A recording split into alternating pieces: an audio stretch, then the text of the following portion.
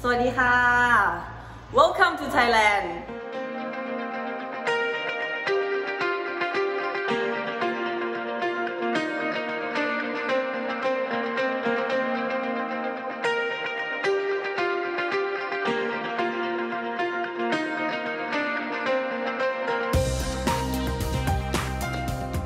My name is Nataya Bushatham. I am all-rounder.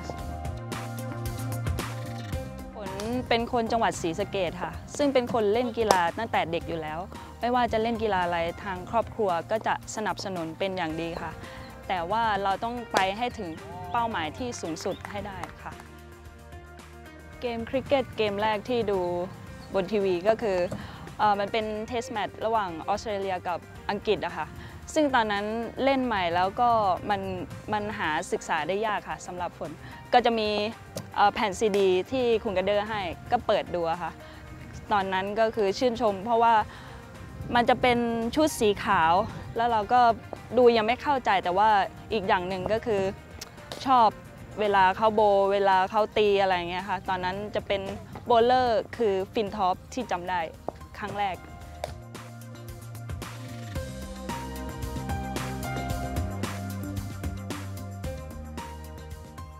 น่าจะเหนื่อยแล้วก็อยากกลับบ้านค่ะ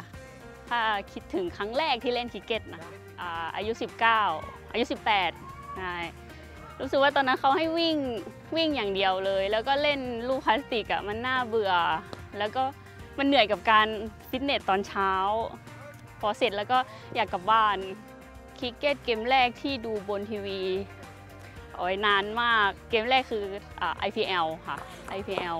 ได้แต่เชียร์ใครตี six ก็ตบมือใครตี four ก็ตบมือแค่นั้น นักกีฬาที่โปรดปรานของฝนก็คือคุณ Mooney ค่ะ เป็นนักคริกเก็ตของออสเตรเลีย แล้วเขาเป็น opening แล้วก็ตีซ้ายเหมือนกันนะคะที่ชอบของเขาก็คือเขามีความใจเย็นเวลาเขาเจอสถานการณ์ที่กดดัน แล้วเขาสามารถผ่านจุดนั้นไปได้ค่ะ แล้วพอถึงเวลาที่แบบต้องบุก เขาก็สามารถทำได้คือฝนเรียนรู้จากตรงนั้นของเขาเยอะค่ะฝนก็เลยชอบคุณ Mooney ค่ะ นักกีฬาที่โปรดปราน Sarah Taylor ค่ะ โดยส่วนตัวแล้วไม่ไม่ได้เป็นวิกเก็ตคิปเปอร์แต่ว่าชอบชอบการนั่งคิปเปอร์ของเขา ชอบความเร็วของเขาอะค่ะ Nataya Bushatham, so she's been there right from the start, right from day one. has never missed a single game of cricket for Thailand. So most, most capped player for Thailand. I would say the biggest strength she brings to the team is her calmness. Uh, the kind of a personality she is and the calmness she brings on the field, even when she's fielding or bowling, is very heartening. It's not only for the coach, but for the team inside also, she brings that calmness. Hello, Kun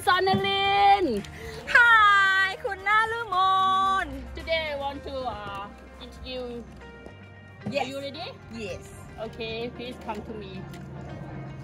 Okay okay enough oh, I think go, go back is better Okay okay It's okay Ah yeah yeah Naramon, she's, uh, she joined the setup probably in 2010, captained the under 19 side and stepped into the national side.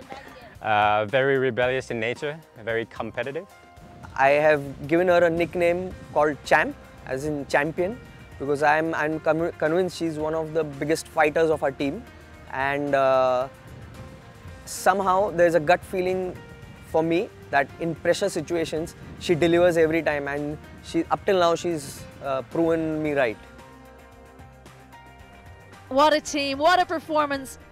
They're going to Australia to play in their first ever World Cup.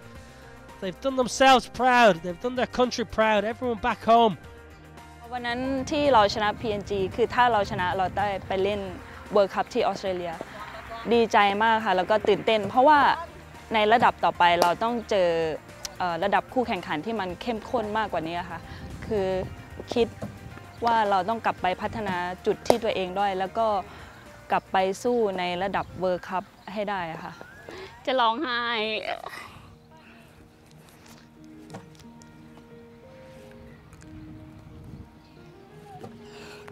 ยังดีใจอยู่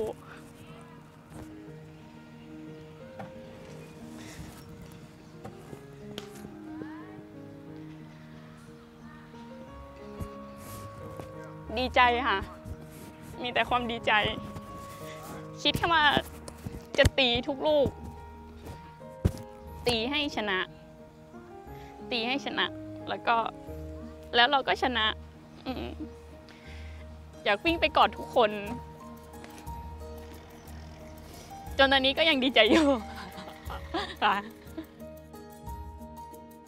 You play your best cricket when you're happy, when you're around people who, who are happy, and you know you feed off that, that good vibe, that good energy. So it's one of our strengths, and, and we, we do it really well. So you know we're going to keep on doing it, and and you know it's a it's it's a secret ingredient for us. You know that's uh, made us do well over the years.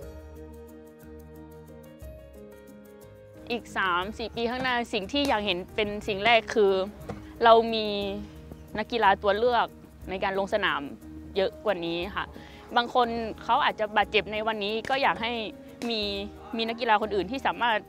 ใช้งานแทนแทนเขาได้ อยากให้นักกีฬาที่เขาทำงานหนักได้พักใน 1 วัน 2 วัน แล้วก็กลับมาฟื้นฟูตัวเองแล้วก็กลับมาลงเกมได้ใหม่อย่างเงี้ยค่ะแล้วก็อ่าอยากให้คิดว่าคิดว่าแรงกิ้งของทีมเราอาจจะขึ้นไปที่ 7 หรือ 8 ของโลกได้ นั่นคือเป้าหมายที่ที่อยากไปให้ถึงค่ะ เป้าหมายของผลใน 2-4 ปีข้างหน้าก็คือ จะเผยแพร่กีฬาคริกเก็ตในประเทศไทยค่ะ ให้ทุกคนรู้จักให้มากขึ้น แล้วก็พัฒนาทีมคริกเก็ตของผู้หญิงของเราค่ะ ให้มีความเข้มข้นมากขึ้นเพื่อที่จะไปต่อสู้ในระดับโลกให้ดีกว่าเดิมค่ะ